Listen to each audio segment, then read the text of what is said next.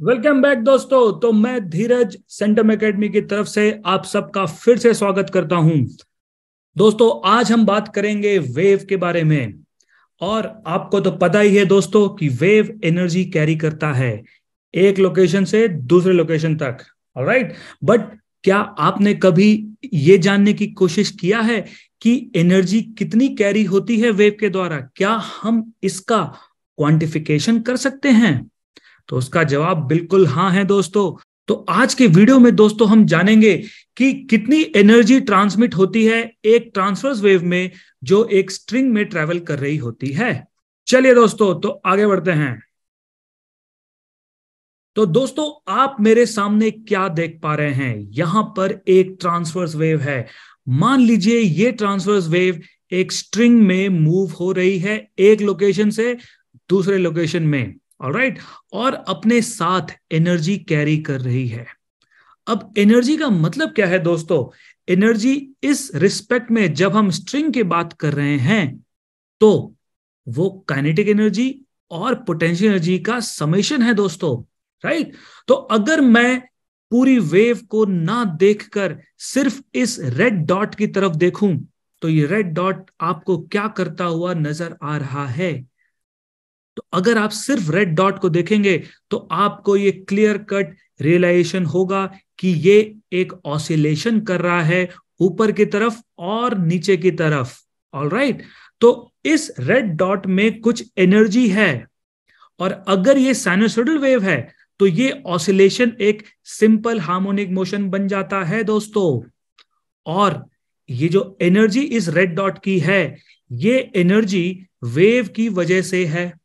Right तो इस तरह से ये पूरी स्ट्रिंग आप मान लीजिए, बहुत सारे ऐसे पॉइंट्स के द्वारा बनी हुई है और हर एक पॉइंट की अपनी एक काइनेटिक एनर्जी और एक पोटेंशियल एनर्जी है। तो अगर मैं किसी तरह सारे डॉट्स का काइनेटिक एनर्जी और पोटेंशियल एनर्जी ऐड कर दूँ तो मेरे पास टोटल एनर्जी आ जाएगी दोस्तों। राइट तो चलिए दोस्तों, देखते हैं हम किस तरह से इस सिचुएशन को हैंडल करते हैं और क्वांटिफाई कर सकते हैं पूरी एनर्जी को। अब मैं इस रेड डॉट को अगर ध्यान से देखूँ तो इस रेड डॉट को मैं मान लेता हूँ कि इस रेड डॉट का जो मास है, वो डेल्टा एम है। ऑल राइट और इस रेड डॉट का जो लेंथ है, वो मैंने मान लिया डीएक्स ऑल राइट तो इस रेड डॉट को, क्योंकि ये साइनोसोडल वेव है, और ये एसएचएम कर रहा है तो इस पॉइंट का, इस डीएम मास का जो वेलोसिटी होगा, मान लीजिए वी वाई है, इस वेलोसिटी की वजह से उसकी काइनेटिक एनर्जी दोस्तों हो जाएगी half mass of that red dot into velocity of red dot square right अब इसकी जो पोटेंशियल एनर्जी है दोस्तों, ये थोड़ा सा आपको यहाँ पे विजुलाइज करना पड़ेगा, इस पोटेंशियल एनर्जी को हम किस तरह से लिखते हैं? मान लीजिए आपके पास एक स्प्रिंग ब्लॉक सिस्टम है जो ऑसिलेशन कर रहा है तो पोटेंशियल एनर्जी क्या होगी स्प्रिंग की दोस्तों? हाफ़ के एक्स स्क्वायर है कि नहीं? और इस के को अगर मैं थोड़ा सा मॉडिफाई करने की कोशिश करूँ, एक स्प्रिंग ब्लॉक सिस्टम में ओमेगा को हम लिख सकते हैं root over K by M right so यहाँ से दोस्तों, जो वैल्यू ऑफ़ के आएगी वो आएगी ओमेगा स्क्वायर एम के बराबर। ऑल राइट तो यहाँ पर दोस्तों, अगर मैं इस मास को, इस डीएम मास को एक ऑसिलेटर की तरह ट्रीट करूँ, जिसमें इलास्टिसिटी है तो उस ऑसिलेटर का जो स्प्रिंग कांस्टेंट होगा, मैं ओमेगा और एम के टर्म्स में कुछ इस तरह से लिख सकता हूँ। तो दोस्तों, मेरी जो पोटेंशियल एनर्जी होगी, वो हाफ़ के एक्स स्क्वायर तो होती ही है। अगर मैं इस केस के बारे में बात करूँ, जहाँ मुझे के नहीं पता है बट ओमेगा और एम अगर पता है तो मैं इसको मॉडिफाई करके half M omega square X square लिख सकता हूँ। राइट अब दोस्तों, यहाँ पर इंस्टेड ऑफ़ एक्स वाई लिखा हुआ है, क्योंकि ऑसिलेशन वाई डायरेक्शन में हो रहा है तो एक्स और वाई को लेके आप कंफ्यूज मत होइएगा। राइट तो इसको इस डिस्कशन को थोड़ा सा हम लोग समराइज कर देते हैं आगे बढ़ने से पहले। तो दोस्तों, ये हमने डिस्कस किया kinetic energy half mass of that red dot जो कि मैंने डीएम लेके रखा हुआ है यहाँ पर। DM into velocity of particle square potential energy half K into Y square omega under root K by mass of that particle है। तो के हो जाएगा omega square into mass of the particle तो पोटेंशियल एनर्जी उस छोटे से element का हो जाएगा half DM omega square Y square right अब हमको दोस्तों सिर्फ़ एक ही चीज़ करनी है। हमको इस चीज़ को अगर हम इंटीग्रेट कर दें डीके को तो हमारे पास टोटल काइनेटिक एनर्जी आ जाएगी। और इस चीज़ को अगर हम इंटीग्रेट कर दें तो हमारे पास टोटल पोटेंशियल एनर्जी आ जाएगी।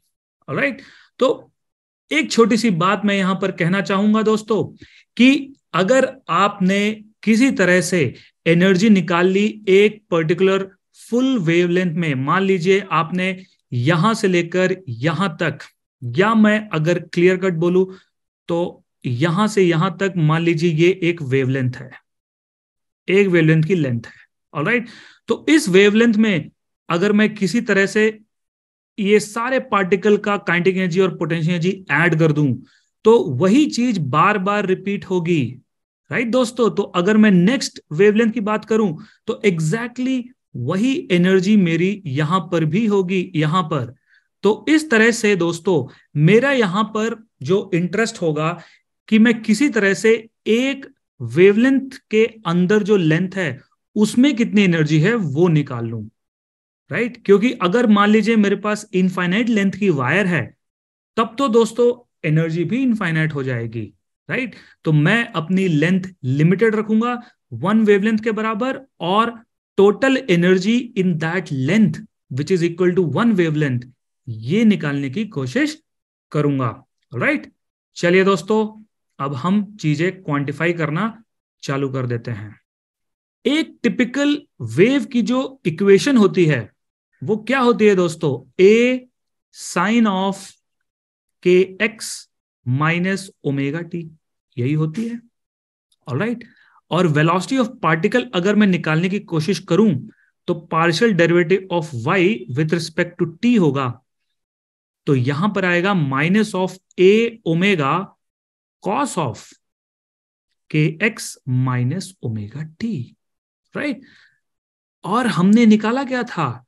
Is equal to half D M into velocity of particle square right DM मेरा दोस्तों हो जाएगा मास पर लेंथ एक वायर की into D X into velocity of particle square जो कि minus of A omega cos of K X minus omega T का होल स्क्वायर सो यहाँ पर D K is equal to half of mu D X A square omega square cos square K X minus omega T तो यहाँ पर दोस्तों मैं एक और बात कहना चाहूँगा। ये जो काइंटिंग एनर्जी हमने निकाली है, ये काइंटिंग एनर्जी एक पॉइंट की है। लेकिन अगर हम पूरे वेवलेंथ की काइंटिंग एनर्जी निकालने की बात करें, तब टाइम का फैक्टर का रिलेवेंस नहीं रहता है, क्योंकि पूरी एक वेवलेंथ में पूरा spectrum of kinetic energy cover हो जाएगा। तो मैं यहाँ पर conveniently T to zero put कर देता हूँ, क्योंकि मुझे पूरे एक वेवलेंथ की टोटल काइनेटिक एनर्जी निकालनी है तो मैं किसी भी टाइम इंटरवल में पूरी एक वेवलेंथ की काइनेटिक एनर्जी निकालूँगा तो वो सेम ही आएगी। So D K is equal to half mu omega square A square putting T equal to zero cos square K X D X आ गया है। Okay okay? अब इसको दोस्तों हमें इंटीग्रेट करना है एक वेवलेंथ में। तो मैंने ऑलरेडी जो चीज़ कांस्टेंट है, उसको इंटीग्रल के बाहर लेके रखा है। यहाँ पर ज़ीरो टू के लिख देता हूँ और एक वेवलेंथ की स्टडी करनी है मुझे तो ज़ीरो टू लेमडा कर दिया मैंने।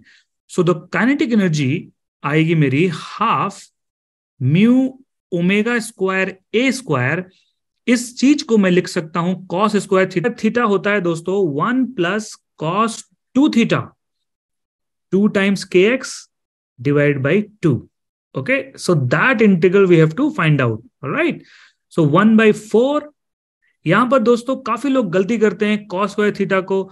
One plus sine two theta by two लिख देते हैं। तो आपको बहुत श्योर होना चाहिए ये सब छोटे मोटे फॉर्मूले जो होते हैं।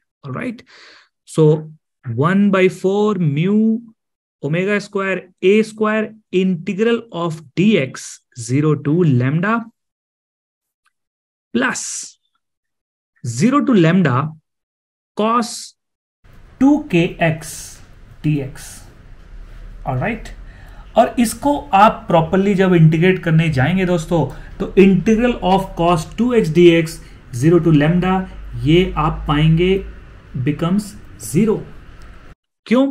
क्योंकि दोस्तों लेमडा जो है टू पाई बाई के होता है तो लिमिट सब्सिट्यूट करते समय आप इसको यूज़ करिए आपको ये इंटीग्रल ज़ीरो मिल जाएगा राइट सो so, आपके पास the value of kinetic energy जो आएगी one by four mu omega square A square lambda आएगी। राइट दोस्तों तो इस तरह हमने काइनेटिक एनर्जी निकाल ली है एक वेवलेंथ लेंथ में, जो कि एक स्ट्रिंग में है। अब हम जानेंगे पोटेंशियल एनर्जी कैसे निकालेंगे। राइट चलिए दोस्तों। So potential energy is equal to half of M omega square Y square right यहाँ पर मैं इसको डीएम कर देता हूँ, क्योंकि हम एक स्मॉल एलिमेंट की बात कर रहे हैं। और ये मेरा डी यू है। Right so potential energy is equal to D U is equal to half DM omega square Y क्या है दोस्तों? A sine omega T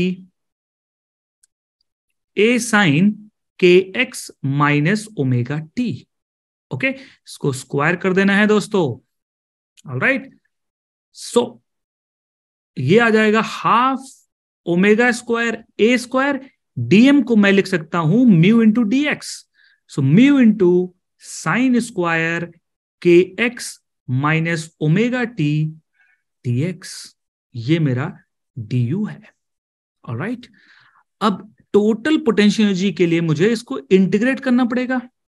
तो अगेन मैं एक वेवलेंथ में इंटीग्रेट करूँगा, क्योंकि after every wavelength everything repeats even potential energy kinetic energy everything repeats itself तो दोस्तों, यहाँ पर पोटेंशियल एनर्जी मेरी आ जाएगी half omega square A square mu यहाँ पे साइन स्क्वायर थीटा है दोस्तों साइन स्क्वायर थीटा को हम लिख सकते हैं one minus cos of 2 theta. Two 2 times kx minus omega t divided by 2. इसका हमको इंटीग्रल करना है ज़ीरो टू लेमडा। ओके तो ये यू नहीं है दोस्तों, लेमडा है। अब, जैसे कि हमने पहले बात की थी, मैं यहाँ पर टी की वैल्यू ज़ीरो कर दूँगा राइट और आप देखेंगे कि आपके पास आ जाएगा one by four omega square A square mu times lambda, okay? क्योंकि integral of cos two times K X zero to wavelength आप इंटीग्रेट करेंगे तो उसका वैल्यू ज़ीरो आएगा। याद रखिएगा दोस्तों लेमडा की वैल्यू होती है two pi by K okay ये जस्ट आप ट्राई कर सकते हैं चेक कर लीजिए इसको राइट और यहाँ पर आपको एक और चीज़ दिख रही होगी दोस्तों कि पोटेंशियल एनर्जी और काइनेटिक एनर्जी जो हमने निकाली है, दोनों की वैल्यू सेम है। काइनेटिक एनर्जी भी हमारी सेम आई थी one by four omega square A square mu times lambda जो कि एक तरह से एक्सपेक्टेड ही है दोस्तों, क्योंकि ये दोनों kinetic energy and potential energy एक दूसरे के साथ इंटरचेंज करते रहते हैं total energy for one wavelength. So energy for one wavelength is equal to 1 by 2 mu omega square a square times lambda. Okay अब ये दोस्तों एनर्जी है। ये एनर्जी ट्रांसमिट हो रही है एक वेव के द्वारा। और पावर की अगर बात किया जाए पावर क्या होता है दोस्तों? Rate of rate of work done होता है। और यहाँ पर in this scenario we can conveniently say that power is rate of transmission of energy right rate of transmission of energy so ये एनर्जी एक वेवलेंथ में है. तो जो पावर दोस्तों आएगी, वो energy for one complete wavelength divided by time period ये होगा दोस्तों half mu omega square A square lambda divide by time period अब दोस्तों lambda divide by time period क्या होगा?